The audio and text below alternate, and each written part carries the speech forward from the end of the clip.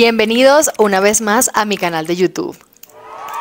Acá estamos una vez más. Hoy vamos a hablar de un tema que también me parece súper importante y es la tasa metabólica basal. Para los que no sepan, la tasa metabólica basal es la cantidad de energía que necesitamos cuando estamos en estado de reposo, es decir, sin hacer absolutamente nada. Esta puede variar dependiendo de varios factores, como lo son la edad, el sexo, el peso, la altura, la actividad física. También puede influir el lugar en donde vives. Para calcularlo se utilizan muchísimas fórmulas, pero yo aquí te voy a compartir dos que son las principales y las que yo más utilizo. fórmula de Mifflin, aquí te dejo la de hombres y la de mujer. Y la fórmula de Harris Benedicti. Esta fórmula es la que yo más utilizo, la verdad, cuando voy a planificar algún plan de alimentación de algunas de mis asesoradas o incluso para mí. Aquí tienes la fórmula de hombres y la fórmula de mujer. Cuando termines de calcular toda la fórmula completa, vas a saber cuántas calorías necesitas tú en tu estado de reposo, es decir, solo por existir. Cuando yo calculé la mía, a mí me dio 1251 calorías solo en estado de reposo. Esta fórmula no tiene todavía calculado la actividad física. En el momento en el que ustedes vayan a calcularlo, solo tienen que multiplicar el número que les dio de la cantidad de calorías, es decir, 1251 por 1.2, que es el mínimo en el que se tiene que calcular. Y para que tengan muy en claro, no quiero que vayan a multiplicar por 1.3 o 1.4 o 1.5, porque realmente nosotros, incluso yo, soy una persona sedentaria, porque entrenar una hora o dos horas o tres horas diarias no te convierte en un atleta de alto rendimiento. Para convertirte en un atleta de alto rendimiento hay que por lo menos entrenar a partir de 5, 6 a 8 horas diarias. Cuando yo multipliqué los 1251 por 1.2, a mí me dio 1501 calorías. Y esas son las calorías que yo tengo que utilizar para poderme mantener en mi peso o incluso bajar y hacer un déficit y así perder grasa corporal. Cuando a ustedes les dé la cantidad, no vayan a bajarle porque a veces puede ser que muchas personas les dé 1300 o 1400